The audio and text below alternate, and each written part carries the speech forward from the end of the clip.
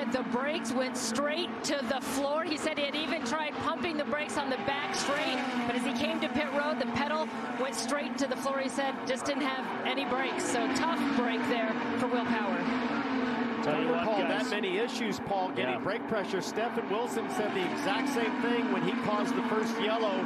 No brake pressure. I wonder if there's been a few kind of tricks of the trade to try to pull the pads back and increase straight line speed. That's pretty unusual to not have pedal pressure with two cars on two different teams. It's all shaken out. Youth, vet,